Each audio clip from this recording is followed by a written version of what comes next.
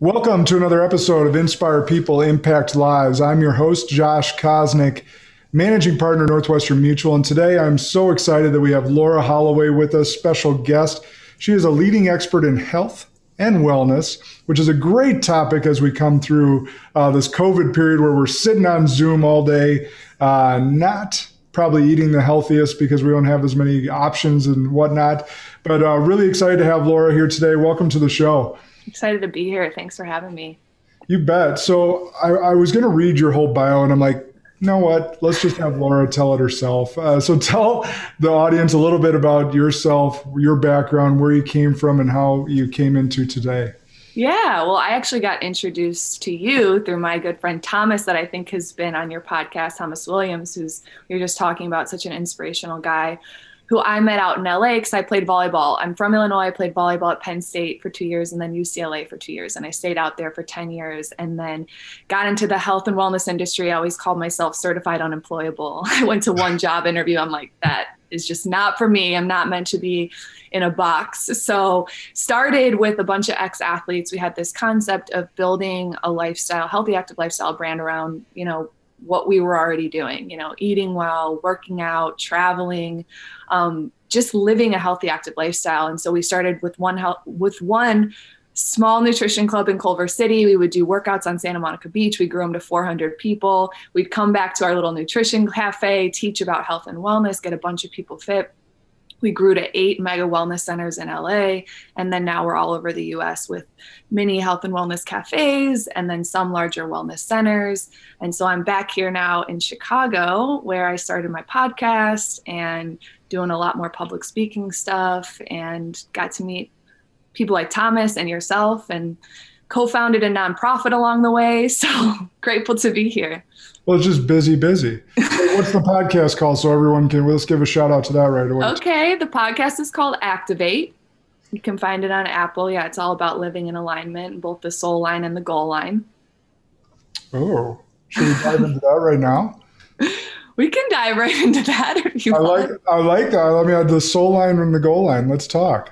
Yeah. So, I mean, I always say so many of us are unconsciously working on the goal line, grinding, grinding, grinding, grinding, and until we feel a sense of unfulfillment or we can feel a sense of like, okay, I made all the money and now what? Or, you know, there's just something missing. And so, what I've really learned in my own journey is that if we're not growing spiritually and we're not growing on the soul line and we're not doing the personal growth work in conjunction with growing our businesses and our lives. Um, I don't necessarily feel like we're have heart happiness. And I think that's the goal is living in alignment. And that's when we really find f- true fulfillment. No, I, I love that. And I agree. And what was going through my head as you were saying that is how have you connected your work through COVID when that's probably the most difficult time people have had? Most, I would say a lot of people, I don't know if most would be the appropriate term, but say a lot of people like you and I were talking before we got on uh, recording in Chicago, New York, LA, places that have been really locked down. Yeah. You feel hampered, and maybe they're grinding behind these cameras that you and I are behind today, and they haven't been able to. Maybe their purpose is to be outside. Maybe their purpose is to be in larger groups. Maybe their purpose is to be, you know, helping.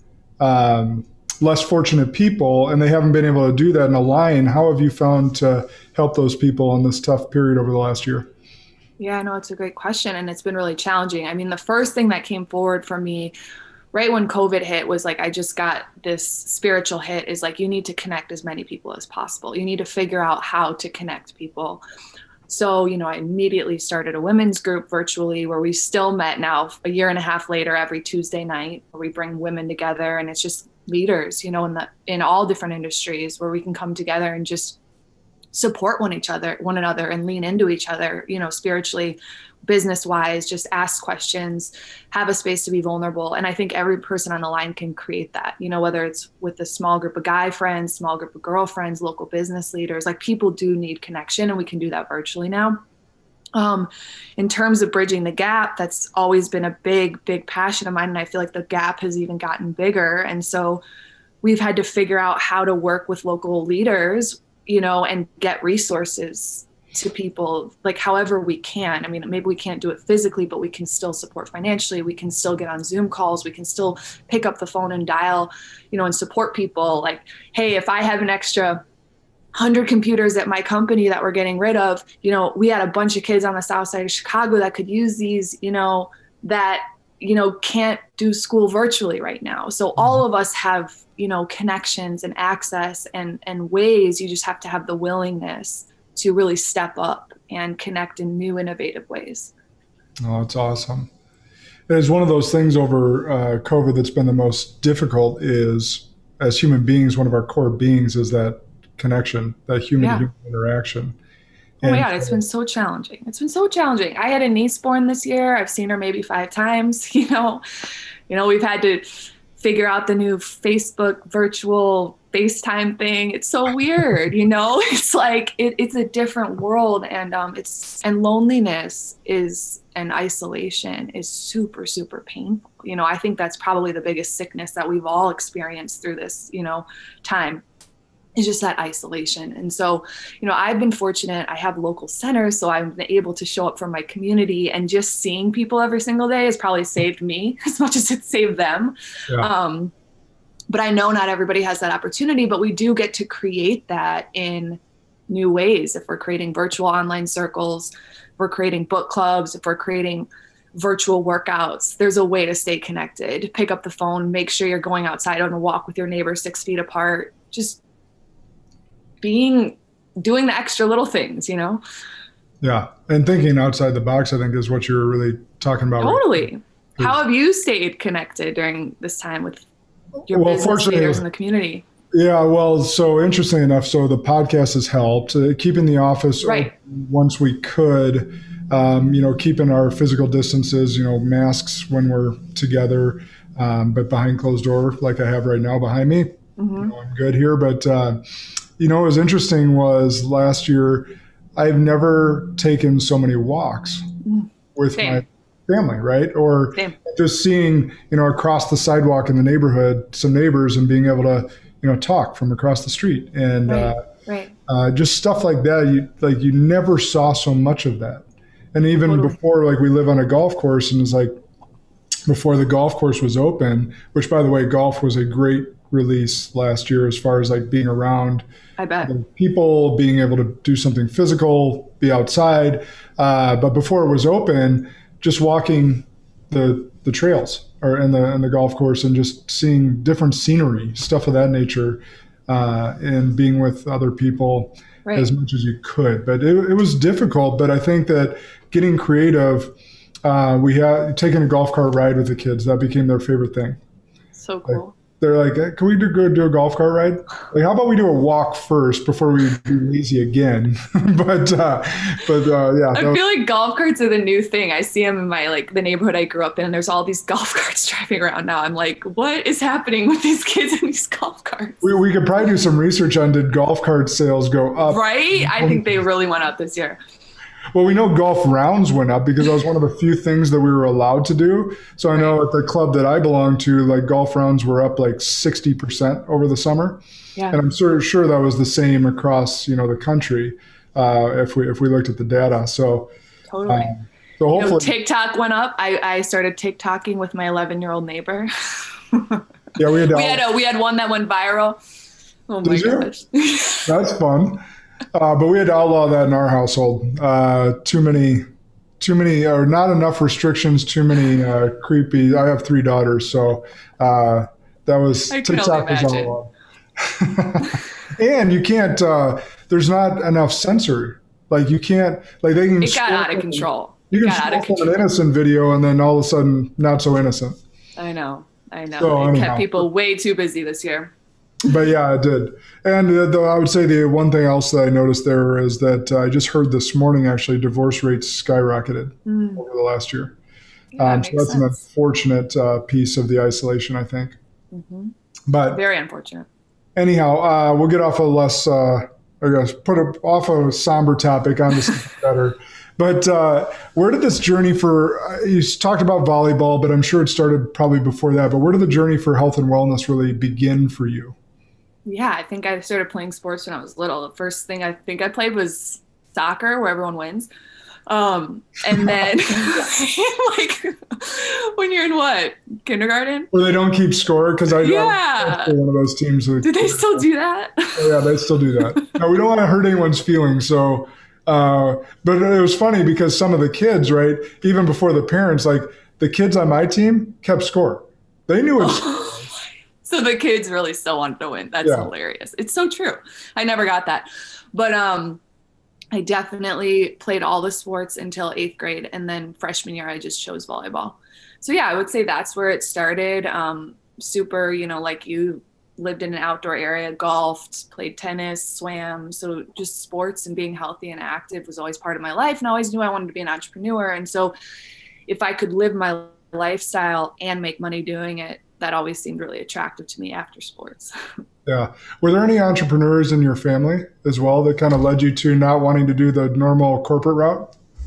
I think it was something that was like bred around the dinner table. We would always have conversations like, you know, what if we built this company and how can we fill a need here? And it was just something my Shark Tank was always my favorite show growing up. I actually like binge watched like 20 episodes the other night. I still love it so much. And my brother has definitely done, um, he's scaled a few startups. He's been Scottie Pippen for a few big companies. So that's been cool. Um, and I think it's, we've definitely had an entrepreneurial spirit and parents that have really encouraged us to go after our dreams for sure. Good. So that's, that's cool. Like, I don't know that many families talk around, about that around the dinner table. Yeah, you know, I do. The older I get, the luckier I know that I am, for sure. I was born to great parents, which I know is a super, super huge blessing. Probably one of the greatest blessings of my life.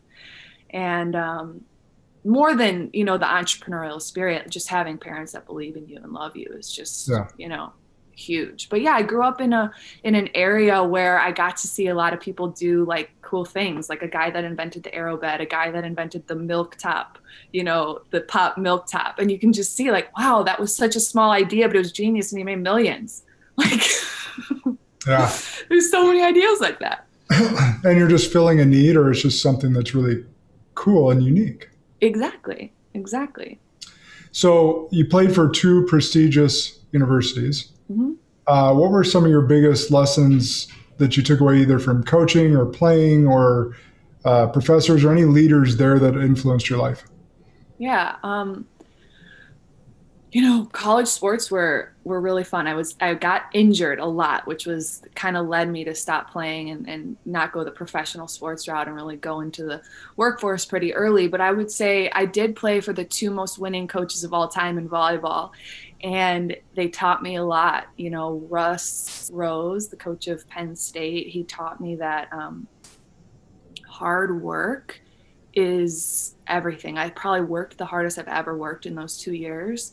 Um, and I thought I was a hard worker before I got there until I got there and I'm like no this is what hard work is.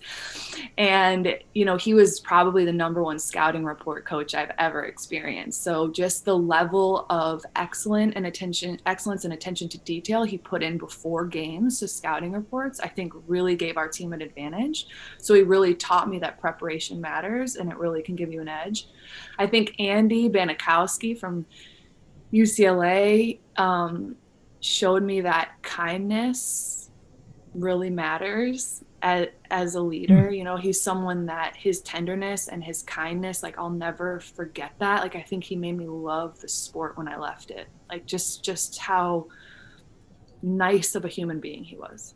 Wow. I mean, those are two awesome lessons from two so different people. It sounds like I don't know. So different. Oh my god, so different, but also both so winning. Yeah, and that's why it takes all kinds. And you like you as a leader you bring your culture your core values and you recruit and attract those that exhibit and want to exhibit those values as well. And that brings Absolutely. you brings the best out of you. Absolutely. And that's that's really that's really cool. So how do you apply those now today? Yeah i mean i definitely believe, i have a compassionate um, approach to leadership for sure. I feel like people don't care how much you know unless they know how much you care. So I really get into people's worlds. Like I think that understanding that people are people, you know, they're not robots. Um, and and they have lives, they have families, they have emotions. Like just understanding that they're they're um, human beings and I and I want to know what they want, you know, individually. Not every person wants the same things. And when you can really understand what motivates someone and what people really want for themselves, then you can motivate them to work hard for themselves, not for me, but for their lives and their futures and their families and their desires. So I definitely bring a compassionate leadership approach. I would say I'm a visionary and I think that I don't know if I was taught that or it's just one of my innate gifts, but that's something that I definitely bring to leadership is casting a big vision and, and showing people something maybe bigger than they can see for themselves. And then, uh, you know, systems and strategies have always been important, and, and all my coaches have taught me that. So I, I definitely don't go to bat without a, a playbook. yeah, you talked about uh, the Penn State coach and the preparation that uh, that really went in there. Is there something there that you stole uh, from that journey?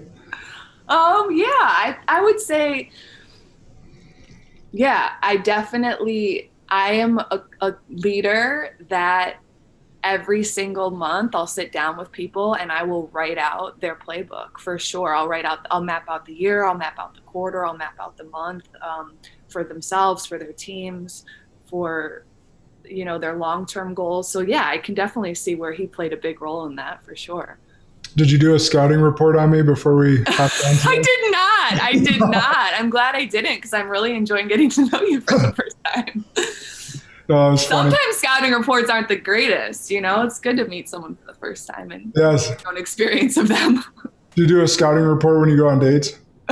definitely, I do. That's probably smart nowadays. Anyway. I, I definitely do, or at least you. I'm not on like any of the apps or anything like that, but I'll definitely call a friend you vouch for this person. Okay. Maybe CCAP them with something. yes, for sure. So, uh, kind of changing gears, but uh, you know, you've been really known to have that can-do mindset, and I'm thinking about. Uh, do you think that can-do mindset? Chad and I had a conversation about it earlier today. Uh, about just because I feel like we're in the acquiring talent business as business owners. Okay. And it, it so like people so often think about positions. And I think like people in college also think about titles or positions. When I used to speak to universities, I said, uh, how many people think of a title or thought of a title when they chose their major? And almost everyone would raise their hand. Or when you were growing up, I wanted to be, you know, a firefighter or an NFL player or a doctor or whatever it might be. And so few people think about what those job duties actually are. Right. And would they actually find enjoyment, fulfillment, um, or would they even be good at them based on their skill sets? And so I'm like, think about the uh, requirements or what you'd actually be doing on a day-to-day basis and would you enjoy that or what would you be best at then match a title to that but the can-do mindset is really important because if you give someone a task or if you uh, don't explain it correctly, which often happens in this business world because we're also fast paced. Totally. We love that. Well, what do we call it earlier today, Chad? Figure it outness.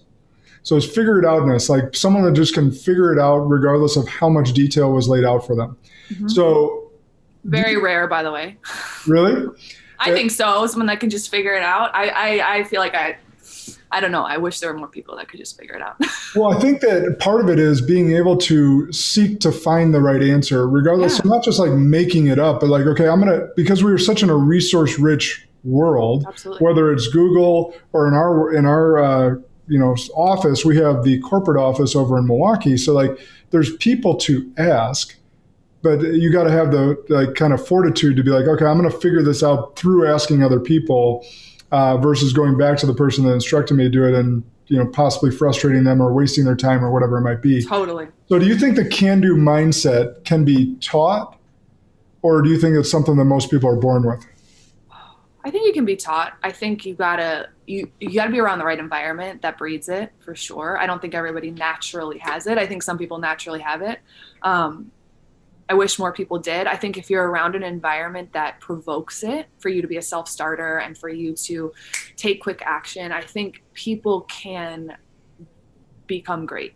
I do think people can become great. And it's just small wins done over time that become habits.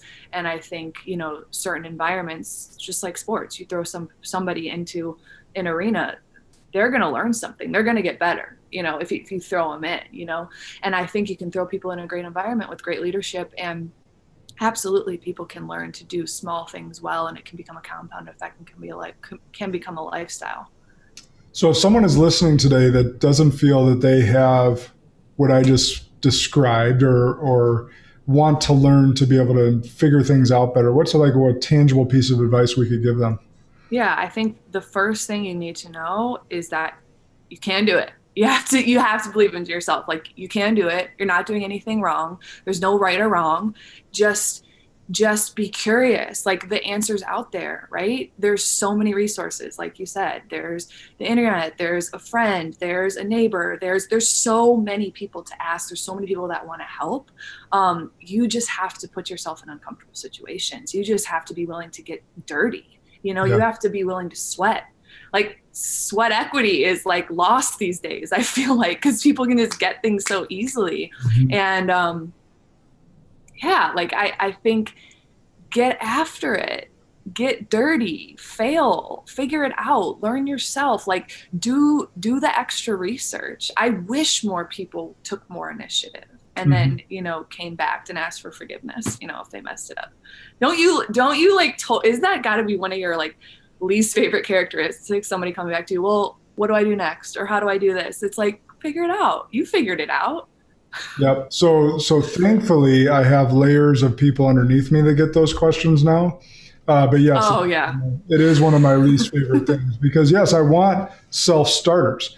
Every just so everyone knows, every boss wants self starters. Every boss wants a self starter. Absolutely. Absolutely. We don't expect you to know everything, especially right away. We want you to have that go get it attitude, that curious. Oh, I love the word curious. It's one of my favorite things. I think too many people are less curious, are trying to be more impressive and less curious. Right. They think they have to get it right or they think they have to know already. So then they don't ask the questions. And it's like nobody knows.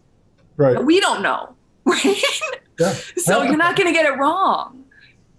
Or we got it wrong before and now can get it now we get it right because we failed before, but exactly. we were willing to fail. We were willing to fail, exactly. So, what do you believe about curiosity? I believe that curiosity is one of the most important characteristics that all of us can continue to carry with us because we're never going to know everything. We don't know what we don't know, and then we don't know what we don't know, and then we don't know what we don't know, right? And so, if we remain curious, every single person we meet can give us some piece of knowledge, some piece of advice, whether they're 11, whether they're five. Everybody's coming to us with a gift if we can see it that way. And then we can become sponges for life and we can experience life in, um, I think, just like a more bright eyed, fun way. It's just a great way to, um, a great lens to view life. Can you imagine walking around knowing everything or feeling like you have to know? uh, I did. in my early 20s, I think I was more that way. Yeah, I think I probably was when I was the story was running me as an athlete like i had to prove my worth. I i, I had to win no matter what you know and, and letting that go was a huge chapter as well. Um, but i think living curious i don't know about for yourself but for me it just allows me to live with so much more freedom. Yeah. Uh, i uh, kids teach us so much and i love getting questions from like my three year old or five year old that are just so innocent and pure and right. like seeing things through the lens of a child like brings you back to it's like seeing things for the first time again so like we were just on vacation like we uh, i told you before we started recording and like them their fascination at the aquarium or the zoo or you know like for us as an adult we go to a zoo we're like oh we've seen a lion before like lion before and my three year old just like in awe and it was a beautiful lion, by the way, at this uh, Phoenix Zoo or Tempe Zoo. Um, beautiful male lion, beautiful mane, huge paws, just everything majestic about a lion that you would see in the wild. Mm-hmm. And I just watched my three year old look at this thing. Like, because it was his first time right. really seeing a lion up close.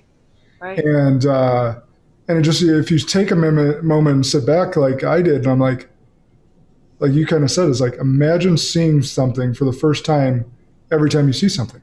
Right. And the awe and curiosity that you would live life with. Right. Instead of being like, I already seen that before. Right. There would be so much like wisdom and excitement and vibrancy and just life to life. Yeah. Life to love. That would be fun.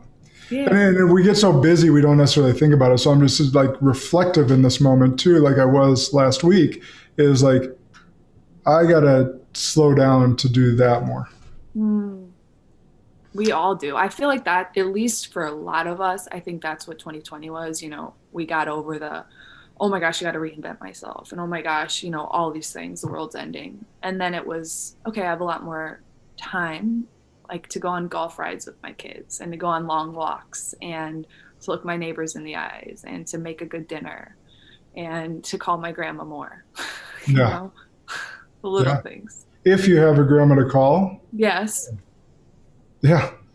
Because I lost my grand, my last living grandpa last year during COVID, and I wasn't able to go in to say goodbye. I had to say goodbye Sorry. through a window, right? my so God. that's um, and I bring my kids there, but he was able to recognize me, and it was extremely sad. But at the same point, like at least I got to do that. I know a lot of people suffered last year in losing people where they didn't get to say goodbye Right. or they didn't able they weren't able to even go to a window um, so it is like if you have those people to call and this like there's reminders every day of this type of stuff that's what the news starts off if it bleeds it leads and they tell us this terrible story about someone that was shot or some tragedy hopefully those are daily reminders but oftentimes they're not because we become numb to it Right. let this be your wake up call call grandma call your mom yeah. call whoever you need to. Um, FaceTime, that's a great technology nowadays uh, to be able to see someone. Yeah. So, what do you think about that? So, you don't have kids yet, right? no, not yet. My kids and your future kids will never know a time where you couldn't see someone as you called them. It's really, really. Like you and I picked up a corded phone and then a cordless phone, I know. but we didn't have someone's face on the line. Our kids will never know a time that they can't see someone as they call them. I know. Part of me is like it's really creepy and it like really creeps me out and then the other part is like it's so cool. Like my 1-year-old niece, like when I FaceTime it goes to this portal. We have like the Facebook portal. She just turned 1 today. She goes over and she answers it. Like she knows what to do at 1. She crawls and like, presses the green button and I'm like, "Oh my gosh." She probably knows how to swipe. My kids That's, know how to I swipe. know that's crazy. At one, at three. I mean, they're going to be building our future, so they're going to have to understand this technology. The other Moving thing I'll tell you about kids with uh, uh, devices that are very awakening. Um, my seven-year-old's best at this because she's a daddy's girl, and uh, and I'll get home and I might be answering a text to Chad or whoever it might be, and she will pull my arm or she will hit me to get my attention. Good. And no, right. There's As such she great reminders. as she should because I shouldn't have my phone like head buried in my phone when I get home and I should be spending time with them. So I hope she never stops doing that. I know. Uh, I but know. that right? is a good good reminder. They might actually end up being more annoyed at us with our addiction to it and be like so over it by the time they're our age. Like, I hope that's the case. like that was that. That was what pulled me away from my parents. Yeah.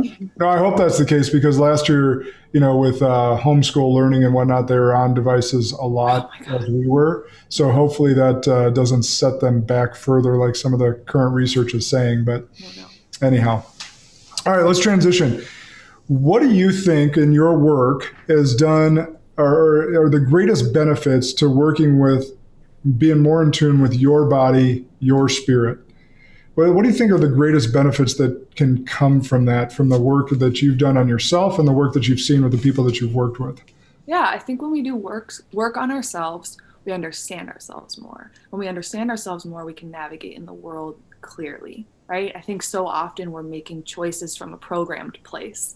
You know, what was told to us growing up, what we should do, what and and we we move through life with like a filled up backpack of things that we have to do and we can do things from an unaligned weighted down place and so when we learn about ourselves we can unpack our backpack we can live lighter we can live aligned and we can start to understand what drives us what's important to us what our core values are. And then once we have those core values in place we can make choices that are in alignment with our core values. And so we don't look back and regret a chapter of our lives. We don't look back and say, that was a really bad poor choice. We can say no my my core values are in this order. Mm-hmm. And this is what i say yes to. This is what i say no to. These are my boundaries this is work that i'm aligned to. This is work that i'm not aligned to because there's a lot of ways to make money. There's a lot of ways to do business. There's a lot of opportunities out there. And i think we can get so caught with being a yes woman a yes man um, thinking we have to put ourselves in certain positions to get ahead, and it's just not true. So when we're in alignment with ourselves, can live from a place of just truth, a place where where we know what's best for us. Period. And um, I've seen that with my business partners and, and they're living lives, you know, the more work that they do, they're living lives that are fulfilled, they're balanced, they're, you know, for the most part, I don't know if there's ever like full balance, but, and they're giving back in ways that really, really are meaningful for them. Yeah, there's not full balance. I, I agree with you. There's there's integration. It's like work life yeah. integration versus work life balance. Or harmony. Balance, yeah, yeah, balance indicates 50 50, and that's what throws people off, and they'll never be 50. Totally. Yeah, at some points in your life, that's why I say core values are so important. At some points in your life, you know, for me, I can put work first. So then when I have a family, I can put family first. You know, it's like yeah. I got that money set aside where I'm like, okay, I have five years to pop out some kids. you know, like I did that. and I'm glad I did that in that chapter. Yeah, that's awesome. So, uh, uh, I think the core values thing you brought up is so good. How many people that you encounter when you first encounter them have their like maybe a percentage or however it's easiest for you to answer this question, uh, have their core values figured out? You know, it's surprising how many people say, "Wow, you know what, Laura? No one's ever asked me that," or "No boss have ever said what's important to me," or you know, "What are my core values?" Not many people spend time sitting down and thinking about those because where are you taught that? You're not taught that in school. You might be taught that on a podcast like this where you like take some time reflect what's important to you you know? What what really is important to me in this chapter of my life? How often do we spend time? Maybe at the new year and then we set it aside after the first month you know?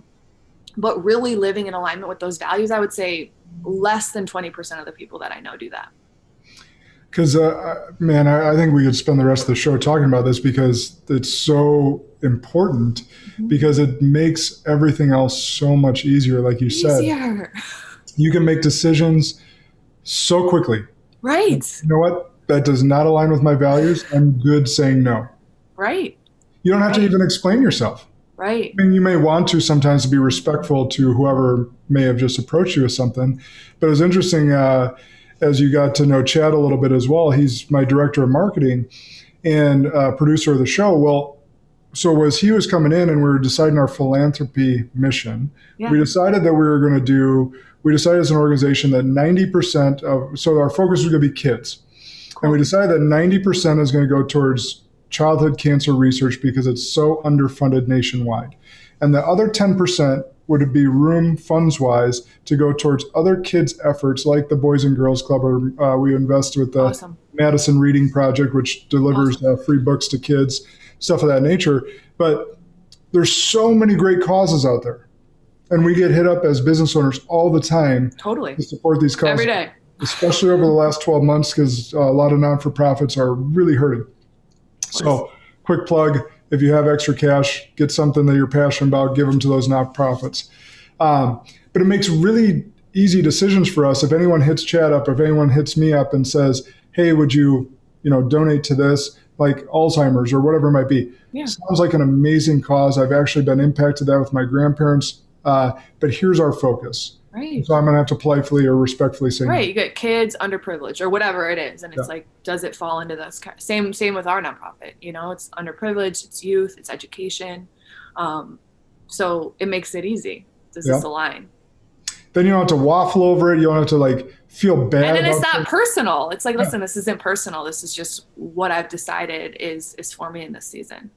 But if you don't have an answer, like right and that's where people really get to spend the time doing the inner work and it doesn't have to be this like whole process. It's just giving yourself space to know yourself. Yep. And so how did you come to know your well maybe uh, whether you want to answer that or not is coming to know your core values or do you have an exercise that you take people through to help them identify theirs? Yeah i mean there's plenty of exercises that you can do. I think you know you have different buckets. You have faith you have family you have you know health and wellness you have business you have finances you have relationships, you have fun, you have adventure, you have travel, whatever you want your buckets to be, you know, you can come up with them and you can put them in a certain order, you can put them in percentages and you can rank yourself now. Like, where are you feeling full? Like, is this one at, you know, where am I feeling financially? Ooh, man, I could really use some work there, right? I'm probably at like 30% there. Where am I at, you know, in relationships? Man, my relationships are really lagging. So you can just like lay out all these areas of your life and kind of rate yourself. And then you can say, am I fulfilled? Am I happy? Okay. No, I'm actually not. I want better relationships, or I really do want to be healthier. Like it is affecting my brain fog. It is affecting my mental clarity. It is affecting the way that I show up and how I feel, my confidence and my skin.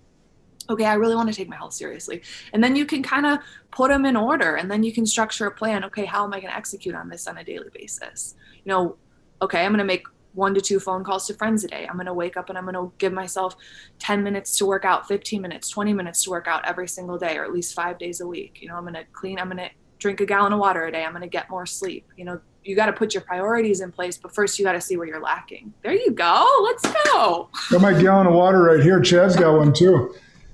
oh, you guys on a gallon challenge together? Yeah, well, we started at the beginning of the year. It just uh, that was the one thing I added. So like I'm I'm in I, work out pretty well, yeah. uh, and I always figured that I was uh, drink taking enough water, but I never like calculated it. And sometimes you lose track based on you know you're drinking a 20 ounce glass. How many did I have? This the you know getting the gallon thing. You just it makes it simple. It's it's super simple. That's awesome. Good for you. Most guys that are in an office like you are not drinking a gallon of water a day. They're pounding like four espressos. Yeah, I know. like seriously though. I do, well, I do have coffee in the morning, but then I start my gallon water and. But that's yeah. awesome. That's a simple fix, honestly, because most people go for food and they're actually thirsty. Like little things like that. I know it's like so small to some people, but if you drink a gallon of water a day, it could really change your health yeah your skin your mental clarity yeah. energy i mean it's it, I, I, agree it's it's very good uh, one of the things i was going to talk about with uh, your i did in 2012 i went to a darren hardy seminar who used to run success magazine big cool. life coach yeah. was out in san diego actually la jolla area awesome. and um, his his mentor was Jim Rohn, and so I don't know if he stole it from him or or whatever it is, because Jim Rohn's like one of the OGs, like John Maxwell of leadership. And he talked about how you were talking about, um, he, but he put it in a wheel. So yeah, you could do it in a wheel. Yeah. Right, so totally. one to ten, and if your wheel's out of alignment, okay, maybe that's the area whether it's faith or relationships or health that you need mm-hmm. to focus on. So I thought that was a cool analogy, maybe to draw out for people, uh, because that was really helpful for me to see. Is that hey, is your wheel lopsided? Mm-hmm. You know, have, have you let your health slip? And do we need to start working make a goal towards working out three to five times per week or whatever that goal might be uh, to get that wheel back in alignment? Totally. And like you said it's never going to be balanced. Like you're never going to have like a perfect percentage wheel but like maybe this chapter of your life you need to focus on a few things. Because you had your finance you have your finances in order. Okay great. Now i really need to get my health in order. Yeah. So speaking of health over 70% of covid deaths were attributed to people that were obese, and you're in a health and wellness business. Mm-hmm. And definitely have health and wellness centers in low income communities because in food deserts, there's a lack of education, there's a lack yeah. of access, there's a lack of so many resources where we're seeing a lot of these deaths happen. So, I mean, it's so, so, so important. I mean, this was this was the wake up call for a lot of people and for a lot of people they're still out partying without masks and they don't care and that's fine and that's for them. But for so many of us we've been shook to the core you know yeah. people we know or at least like one degree of separation of someone we've lost. Right. Um and yeah those are the ones. Like i have friends that have you know business partners and friends that have come out of retirement gone on the front lines to new york and they were putting people in body bags and they said they've never seen anything like it laura they're like it is the worst thing we've ever seen and it's people with preconceived health conditions absolutely and so we have to take our health seriously and so what's your big so i know beyond the um, the underprivileged communities that don't have the access. I know you're doing a lot of work there, but for the uh, busy business professional, for the yeah. busy mom, for all those people, what are your what are your nuggets that you could give? I know there's so many, but if you could boil it down to a couple, I always want to try and give people some tangible stuff as we yeah. talk to experts. What are some tangible bullets we could give people, whether it's motivation or uh, cooking or wherever you want to take it? I guess I don't want to structure you. Yeah, no, I just I think we get to make health a priority in our lives. That's first, you know, and that takes like conscious shift to say, okay, this is something I have to focus on. It's not something on the back burner. Like I get home and now what's for dinner? Because if you do that, you're going to grab snacks, you're going to grab something bad. You know, it, it's got to be something on the forefront that you're thinking about prior to the week starting, like prep Sundays. Like what, how am I going to lay out my health this week? And that's going to look different for everyone. It's not a one size fits all, but if we're at least putting it on the front of our minds, I need to take my health seriously. Now we can, you know, shift the way that we we structure our weeks. Um, so just having healthy things in the fridge uh, to grab to snack. You know, you can pre-make meals. You can have um, you know fruits, vegetables, all the good things. We need to boost our immune systems vitamin d vitamin c zinc echinacea um, drink a ton of water get a, get a lot of sleep and practice mindfulness whether that's you know prayer meditation walking getting in nature um, mental health is so important um, so important right now if you give one tip, I think a lot of people get intimidated by the thought of meditation. Yeah. I would say someone I, I started uh, our conversation with telling you how ADD I am. yeah. So I would tell you that as an ADD person, meditation, uh, I don't know if it scared me per se. Maybe because I'm hesitant to say that. Maybe it did scare me. Uh, but where I find I, I, started doing Wim Hof breathing exercises. Cool. And so for that 12 minutes or so, that I'm doing that, like that's my form of meditation because I'm utterly focused on my breathing. Yeah, good for you. And then those retentions. And so I'll do some prayer and some thought work in that time frame. But is there any tips that you have for people that are uh, either like, oh, meditations for hippies or meditation, I'm scared of that, or like, I don't know what thoughts are going through everyone's mind, but I love that. That's so funny. Any thoughts or tips there for those people? Yeah, I just think people, um, you know, put meditation in this box where it's like I need to sit there, you know, with my thumbs to my pointer, and I need to be like in a sit, seated position, and it needs to be so serious. And I just don't look at it like that. Like a meditation could be walking in nature. A meditation could be, you know, riding a bike and just being present in the moment. But like what you said, the biggest thing about meditation is just being in relationship with your breath. Um, because when you're in relationship with your breath, you're in the present moment and so all medicine, all meditation is trying to do is to get us in this exact present moment, not in the past, not in the future, but here now. And so we can do that by listening to our breath, breathing. One simple thing that I do is you can like plug one nostril, you can breathe in for three seconds, plug the nos- plug the other nostril, breathe out. Breathe in this nostril, your left nostril. Three seconds plug it, breathe out, you're right. You can do that eight times. And what it does is it just like brings your right and your left brain together. But that's the biggest thing is just find a way to get into the present moment. That's really cool. That's really cool. Box breathing, anything like that. Yeah. Download the Wim Hof app or whatever it might be. I love that you do Wim Hof. That's awesome. Do you do the cold pool too? Uh, so I will. Um, I will do that. I've also done the polar plunge for Special Olympics, stuff of that nature. Cool. Um, there's a great resort up in Wisconsin Dells or, or spa resort that they have a, a medit or um, it's like a routine before you go into the spa to get your body ready, and you go from hot tub to cold tub, and you're yeah. supposed to do that a few times. I actually want to get a cold tub in my house. I, I find from my football days, I, I can jump into an ice tub easier than I can turn a hot shower cold. Oh yeah, for sure. It's so painful to do it yourself slowly in the shower. I, I, agree with that. I totally agree with. So I actually want to get a cold tub. Uh, is my is my thought process there, but uh, it really works. It really works. I've done it a few times. It's painful, but it works. And part of it is for a lot of people. Yes, there's skin benefits. Yes, there's blood flow benefits, and you can probably speak to all that different stuff. But one of the biggest benefits that comes to it is conquering your own mind. 100%. It's doing something really, really tough, something that, you know, per, like sucks. Like frankly, mm-hmm. sucks yeah. to be really cold and put your body into a state of fight or flight and be able to conquer your mind in that moment and conquer your breath. Yep, know how to get back to center. My one of my mentors always says, "I want to do something every year that pushes pushes the boundary of what I think is hard." Right. So a lot of the guys that I work with, they do Leadville. It's like one of the mountain biking races in Colorado that's like super super tough.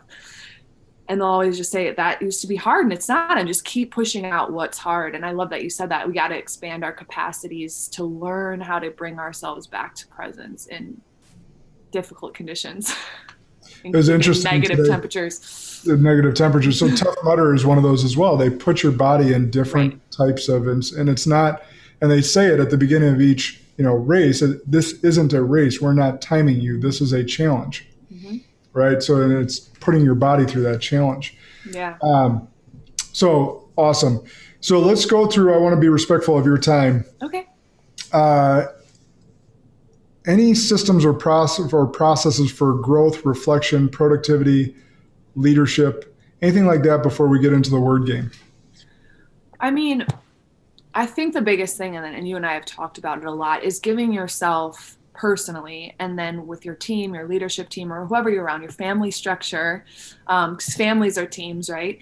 Giving yourself time and space to reflect. You know what are my core values? What's important to me? What is my three year timeline? What are my three year goals? My one year goal? Now how can i work backwards? Let's create 90 day plans. Okay, if I'm creating a 90 day plan, what do I need to execute on each month? And then back that up even more. What do I need to put into place each week? And then it's a daily plan, you know, down to waking up, making your bed, having a glass of water, doing your mindfulness practice, getting in the gym, and having that daily routine where you can start to build the muscle of trusting yourself. When you can start to trust yourself, the way you show up in your life is different and so it's just having mm. those small habits every single day where you can start to lean on yourself more, your confidence grows, and um, the way you're going to execute your goals and your dreams are going to shift. Do you do that? Per, I'm asking you personally. I know other you can do it many different ways, but do you do it through meditation, journaling? Yeah, I do all of it. I have a lot of different practices. Um, but I try to do something every single day. So I do something called freeform writing where I'll just spend five minutes. I'll just get everything out, like I'll mind up. I'll just get everything out of my mind, just write, write, write, write, write. Then I'll be able to get in a state of like actually journaling. Um, and then I'll put that into time dump, time blocking, like actually what I'm going to do that day, what's most important that I get done. So I get that out of my head in the beginning of the day. Um, but some practice every single day of mindfulness for sure, for sure prayer, for sure gratitude. And I try to express my gratitude to someone every single day. Handwritten note, text, how do you go about text, it? Text, usually. Um, yeah, a meaningful text typically. Yeah, that's cool. That is cool, and it's a great uh, tip for anyone. Uh, some handwritten people, notes next level, and I do do that, but I like that. I want to do that more. When you said that, I'm like, I need to do that more. Well, you know what's awesome about it, and I need to do it as more more as well, and I and I uh, do it sometimes, and I and I again need to do it more. But what's awesome is like most people nowadays are used to only getting a card, a handwritten card from their grandma. Totally. If their grandma's still living, right? Yeah, or like a baby shower thank you. You know, right. Like what thing you expect. So whereas we're getting texts and messages all the time, like that's someone took time to write on a card, which is rarely done anymore. That's really powerful. Yeah. The other thing in reflective learning I thought about was John Maxwell says there is no learning without reflective or without reflection, mm. and it can really uh, expedite the learning should you take the time to actually reflect. I agree with that. We're just going on automatic. And so so much of all this like systems and processes is just giving yourself the space, right? Yeah. So interesting today and we're just to wrap things up is we were talking about breathing as well. Just this morning my one of my coaches was taking me through uh, some he asked me what I did wrong in a situation and I was going through that and it was with a toxic person. I was like this person triggered me too much. Mm. And I and I don't I'm really in control of my emotions. Mm-hmm. And with this person, they were allowed I allowed them to get to me too much and he's okay, put yourself in that situation. And to make a long story short, like he made me for 30 seconds imagine a situation where I was triggered by that person. and I felt my chest tense up and my breathing constrict. Mm-hmm. And he goes, Okay, stop. And he goes, Now take a deep breath, ground your feet, wiggle your toes, feel each toes.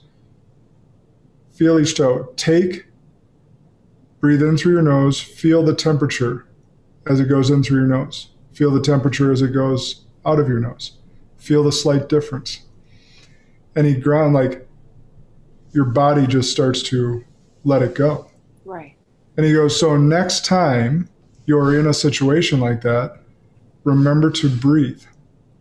Remember to feel your toes. Remember to be present.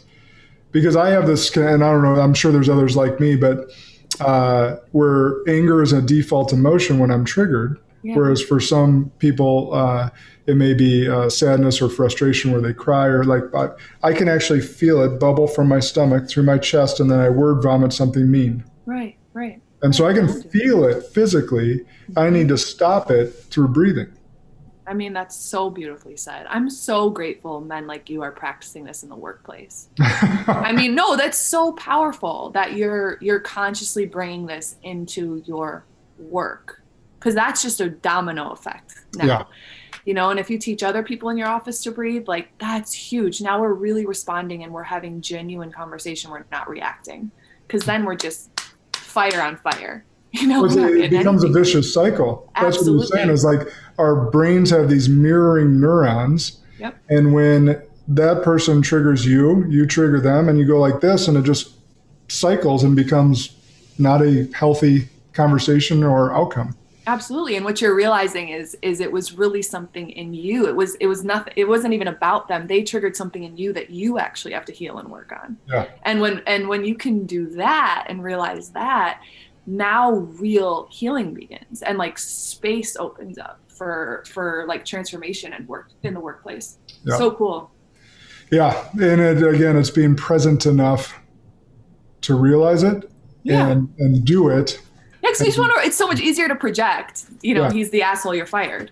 you know, that was actually a growth opportunity for you to transform something inside of you that needs to be healed. Yeah. And it's someone on your team, so you want to develop them and, and give them the tools to be their best. Totally. So you got to be your best. Totally. so good. powerful. All right. Word game. You ready? Yeah, let's do it. All right. So, for the audience that may not have uh, listened to an episode before and tuned in for the first time, the word game we play is I'm going to say a word, and Laura's going to give me her initial, uh, just subconscious response, the initial word, or maybe a short phrase. And the only rules we have is she cannot repeat herself. Okay. So, first word, Laura, action. Powerful. Love. Deep. Fitness. Fun. Life. Playful. Death. Happiness. Energy. Life. Failure. Hard. Success. Fun. Did I say that twice? I can't remember now. okay, I don't know if I. So, since I don't remember, you didn't say it twice. okay, okay, okay. Uh, inspire. People. Impact. Lives. Boom! You just named the podcast too. Oh yeah. Cool. do people do that a lot? No, actually, I think you're the first one. Oh, cool. That's fun. All right, good job. That. Yay! All right, so favorite book of all time or most recent, a book most recently read that you want to give a shout out? Ooh, favorite book of all time that you know I really refer back to a lot is A Course in Miracles. Um, a book that is like a digestible version of that is A Return to Love by Marianne Williamson. Nice. Um, yeah. So I know the famous Marianne Williamson quote, but I've actually never read either of those books. Oh, I think you would really enjoy them, especially with what you just shared right there. Yeah, that's cool. Before. Yeah, it's all about um, living. You know, realizing relationships being the catalyst to love and healing. Yeah, that's awesome. So, uh, the favorite podcast that you listen to, not your own? Mine is definitely not my favorite. um, can I have a few? Oh my gosh. I listen to a lot of podcasts. For entrepreneurship, I like How I Built This. For um, like growth and spirituality. I love Brene Brown's podcast. I love Robert Marcus's podcast. And then um, I listen to a lot of uh, John Maxwell. Yeah, he's uh, I mean the OG leader. Yeah, so solid. And his voice is so soothing. Right. So, yeah. Have you done? You said you've done some of his workshops. Uh, I have. I did a leadership summit with him, and uh, yeah, he's and read almost every one of his books. He's so good. Great. So good. There's some stuff that's repetitive, but it's like repetition's the mother of learning. So it it just resonates over and over. Yeah, and like he always brings it back to like the most simple, basic things, and and leadership is basic at its core. leadership is influence. Yes, it is. Right? Yeah. All right. So, how can the audience follow you, get in touch with you? Uh, what's the best methods for that, whether it's social yeah. or otherwise? You guys can follow me at lauraeholloway.com, um, at Laura E. Holloway on Instagram. Um, the nonprofit that we're launching, but I wanted them to to be involved with yours. But ours is one for many.org. Um, but follow me on social, and we'll have workshops and retreats and fun things on there. You guys can get involved. Awesome. Well, thank you so much for pouring into the our audience today. It's been a pleasure to have you. It's been a great, probably one of the more ADD conversations I've had. we covered so many awesome things that it, that it worked, and I know it's going to be great and impactful. So I'm excited for everyone to hear and uh, just to get your influence and your leadership. So really happy you took the time with us today, and that Thomas was able to introduce us. Thank you. I appreciate you. All right, everybody, as we uh, go on with your week, as you go, I should say, as you go on with your week, make sure you're doing as much inspira- inspiring and impacting people as possible. Take care.